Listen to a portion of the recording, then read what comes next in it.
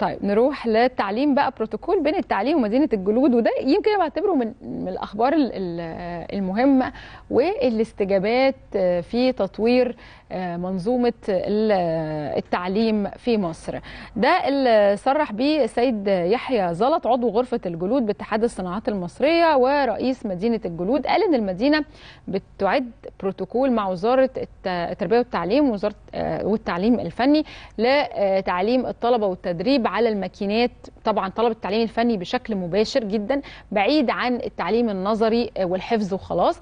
والمدينة دي فيها 13 مصنع. لازم إن إحنا نشتغل عليها بشكل مكثف ومختلف وفكر مختلف جدا.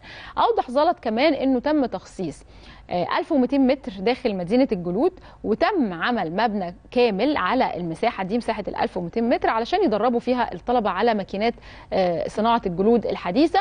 وتم الاتفاق فعلا إن يكون للطلبة يوم في المدرسة لدراسة النظري واليوم اللي بعديه يكون في المدينة للتدريب العملي. يعني يوم كده ويوم كده. ولفت إلى إن المدينة سوف توفر وسيلة مواصلات للطلبة علشان يعرفوا ينتقلوا من المدرسة لمدينة الجلود. وكمان هيكون في وجبة غذائية للطلبة.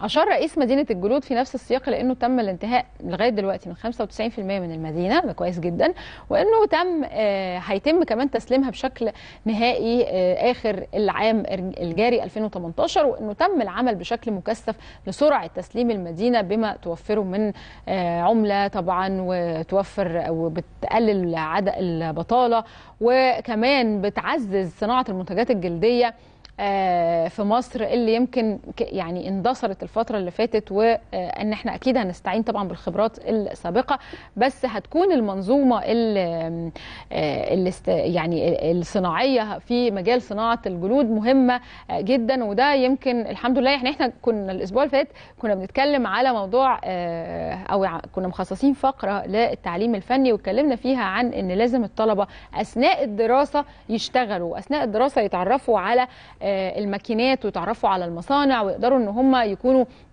زي ما بيقولوا كده عندهم حتى خبرة مسبقة عشان لما يتخرج من المدرسة ويخرج لسوق العمل آه، يبقى آه، محترف يعني أو يقدر يشتغل بسهولة مش لسه هياخد بقى شهور من التدريب أو يبقى خارج حافظ شوية كلام بس ملوش علاقة بسوق العمل. فدي يمكن من الأخبار المهمة اللي حبينا نقولها. طيب آه،